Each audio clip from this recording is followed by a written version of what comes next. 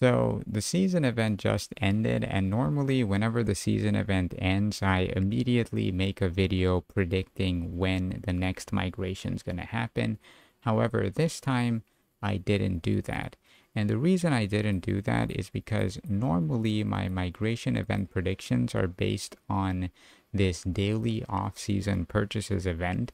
However, for some reason, they decided not to show this event in the event page anymore. So I was looking for this event in this event page and I just couldn't find it. I don't know why they removed it from this page, but they did.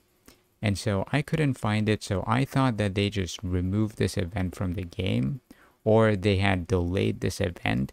And if they had delayed this event, then that would mean that the migration event would be delayed too. But in reality, what happened is that they just shifted this event to the reward center and I just didn't notice it. Now, the reason I look for this event is because this event tells me exactly when the season event is going to begin. And if I know when the season event is going to begin, I can predict when the migration event is going to begin as well as when the megacities event is going to begin.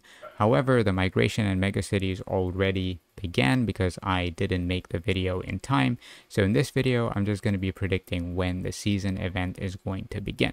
So according to my prediction, the preseason event should begin on the 17th of July 2024 and the season map should open on the 24th of July 2024. So those are the dates for the season event. Let me know whether you guys agree with my predictions or not in the comments down below.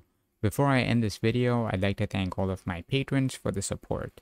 To support me, you can find my Patreon link in the description below. Thanks for watching the video guys, and I will see y'all in the next one.